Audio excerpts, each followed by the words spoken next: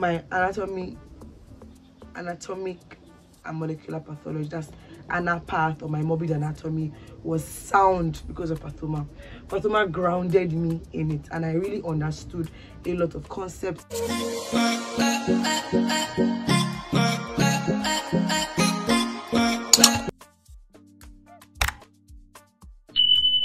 Hey guys welcome back to my youtube channel. My name is chidera haka. I'm a medical student at unilag i make medical related content. It's extremely entertaining very educative and very helpful. If you mess with that type of content please don't forget to press the subscribe button and just keep watching. In today's video i'm going to be giving you guys the videos that helped me during my pathology and pharmacology year of medical school. So you know we have different years we have the anatomy biochemistry and physiology. And that one um sometimes in some schools is one year like uni like in some other schools is two years. 200 level and 300 level and then you go to your pathology and pharmacology courses. So doing my pathology and pharmacology courses what really helped me were my videos. Videos helped me a lot. And i'm going to be giving you guys some of the videos my top five videos that helped me. The first one is osmosis. Osmosis is just osmosis. I don't know it's like they have a video for almost every pathology that there is. They always have some form of summary. Their videos are so engaging. Their videos are colorful very easy to remember. You literally remember some parts of the videos when you're trying to recall what you read. Osmosis helped me study so many courses, morbid anatomy, what people call the anatomic and molecular pathology. And osmosis is not even just for path and pharm.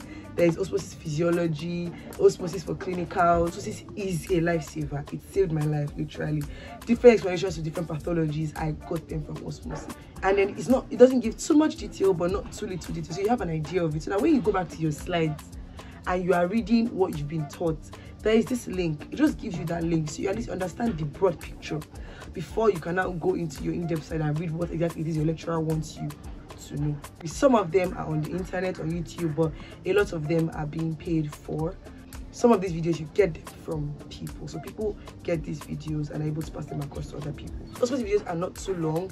Six minutes seven minutes you get information on what you need they don't go too in depth but i mean they give do a really good job at explaining the concepts to you. The voices are very engaging and a lot of research was put into bringing out those videos because they are really really nice.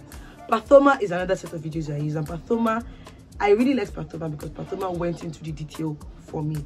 So i read tech i used to read textbooks and read my slides in school and i did not understand. But pathoma was like another teacher to me. So basically they explain what is in their pathoma textbook. But it really did the work for me. I mean my anatomy anatomic and molecular pathology that's anapath or my morbid anatomy was sound because of pathoma. Pathoma grounded me in it and i really understood a lot of concepts. I was able to grasp a lot of things because it is a lot and i could not really read every single thing but a lot of information i felt were vital to me. I could get them from these videos and then they went to explain what i really needed for the course and i got a distinction in that course. In fact that was the course that i got a distinction in. Once i started using those videos my grades just changed automatically. My problem with anatomy was that i couldn't quite remember. There were so many things so i just could not understand like i couldn't understand everything. So something i just had to cram but the videos made it so easy for me because they explained every single pathology. As many as they were they were each explained to me and i so i understood. So even the ones that were not explained reading them was like okay i would spend more time reading those ones. So i would read i would watch the videos then read and then i would be able to at least understand and find that link between everything. And then medicine just became times two fun at the time. Sketchy videos are also very good. Sketchy is to give really fun pictorial analogies or whatever pathology you are being presented. I used a lot for microbiology. I used lot for pharmacology and some other um, pathology courses.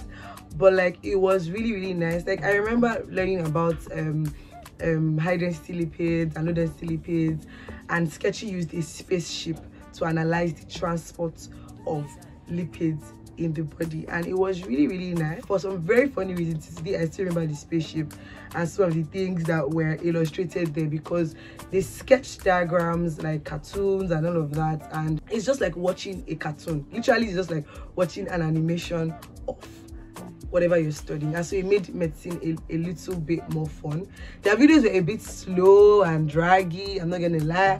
Sometimes i'm just like can you just get to the point but it was really nice. It was a really nice way of understanding something. If you really had a problem with a particular concept and you use sketchy for it you would understand it better at least because the way they'll break it down for you it was it was just really nice. So for sketchy videos you want to start watching them very early while you're studying. You don't want to start watching them when it's very close to the exam because it can be very time consuming you may be able to get access to some of these resources because you have seniors who have used the resources so you can go around asking questions asking people do you have osmosis videos do you have pathoma videos do you have um, sketchy videos. The next two video sources I'm going to talk about are video channels and they're present on YouTube so you can have access to them from YouTube. The first one is Medicosis Pharmacosis and this was really nice for me for hematology.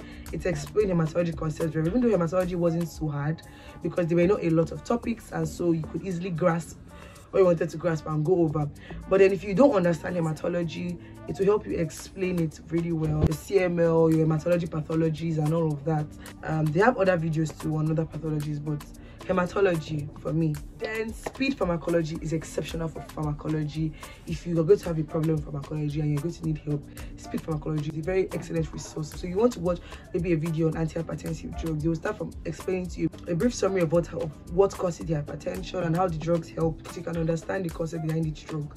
It's just a really good source for you to learn pharmacology. So my top five osmosis pathoma sketchy medical and speed pharmacology this helped me. I didn't really use any resource for chemical pathology or what we call it clinical pathology in Unilag.